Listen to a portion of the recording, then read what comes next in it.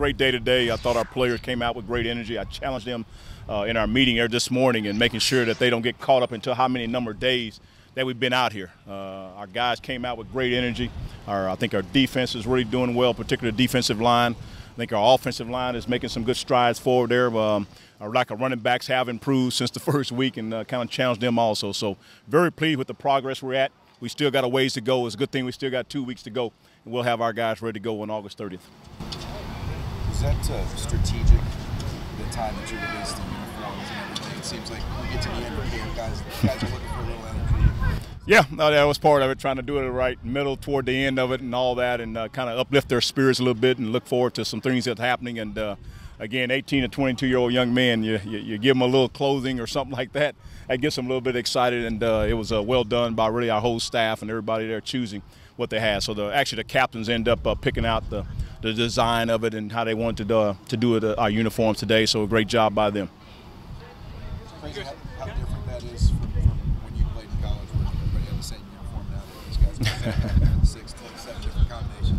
well, uh, I guess you can call it what they call it the millennium kids today and all that. Uh, so again, you take everything in consideration. Uh, we don't always do what they ask, but there are some things here with uniforms doesn't uh, bother me as far as being able to change things. We also got to give some credit here to, to Jeff Barber. Obviously, we have to have the funding and be able to do those things, and so we appreciate him allowing us to do that.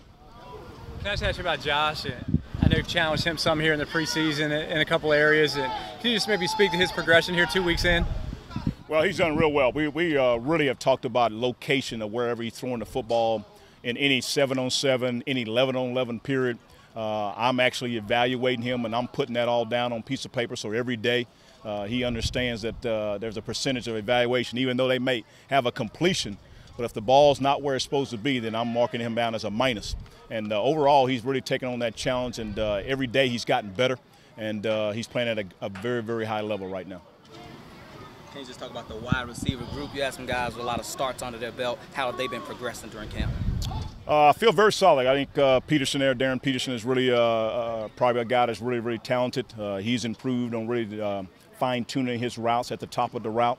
the other guy that's challenging is Shales. Dante Shales has played quite a bit for us, wanting him to really come out and be a, a little bit more aggressive, a little bit more fluid in his routes. He has improved in that aspect of it and improved on his speed and the timing has gone well. Gabe Henderson has been really tremendous. He's probably the guy that's really been pretty steady and, and done what we were asking to do, catching the ball, running his routes a lot more efficiently.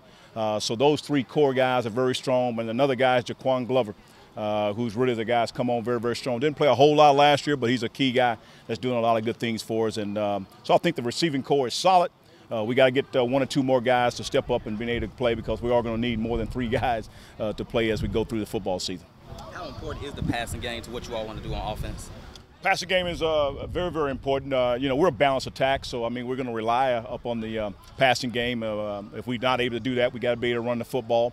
Uh, but we got to do the play action and all those things of that nature. So the passing game is very instrumental, and we feel very good about where we're at as far as our whole offensive side of the ball. Again, the O line, the tight ends, running back, fullbacks, receivers, and so on.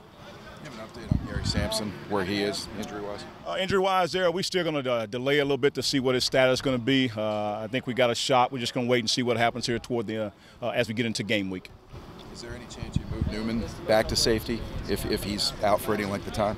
I guess anything's possible. Uh, we're not at that extent right at this point in time, but again, anything is possible. As you get sent to start your third year here, you feel like, especially for the guys that have been in the program, that they understand your expectations, your philosophy, and so forth. And this can kind of be one of those years where you turn the corner a little bit. Well, I think we've had a good uh, uh, two years since I've been here. I think anytime you can uh, share and win a title, it's, it's some good things happening. Uh, obviously, we have some things, expectations of trying to get into the playoffs, and some of us, most of us in our control, and some of it's not in our control to a certain extent. We just got to win all our ball games, the right ball games, I should say, is more important. But I feel very good about our expectation they know the expectation and they've raised to the occasion. And I say that because of what they have done this summer.